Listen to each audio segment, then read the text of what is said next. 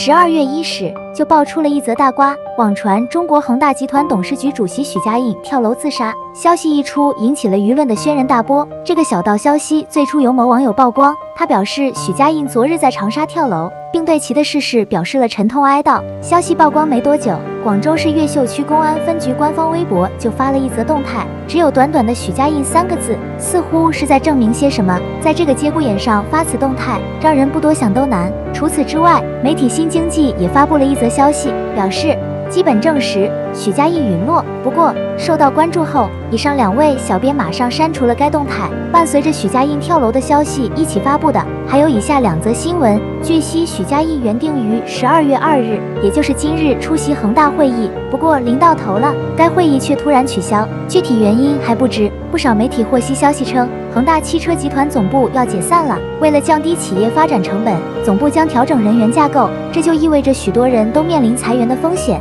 甚至一部分人要被安排去工厂上班。如果以上两则消息属实，看来恒大的动荡还要持续很长一段时间。不过目前大家最关注还是许家印到底是生还是死。据风财讯报道称。恒大内部人士透露，许家印于十一月三十日刚在广州参加完会议，当时状态良好。随后又有自称恒大员工的人晒出了一张企业领导工作群聊天截图，画面中许家印在今日十三时还发布了一则语音消息，看上去并没有出什么事。作为恒大集团董事局主席，许家印也曾是风光无限的商业大佬，凭借高额的财富位列富豪榜前列。不过三十年河东，三十年河西，如今的恒大风光早已不在，沦落。到墙倒众人推的地步。此前就曾有媒体的报道，恒大集团负债已高达两万亿元，许家印只能变卖自己的个人财产去填补这个无底洞。不过话说回来，至于网传他跳楼自杀一事，还仍未有一个确切的消息。目前都是一些网传的截图流出，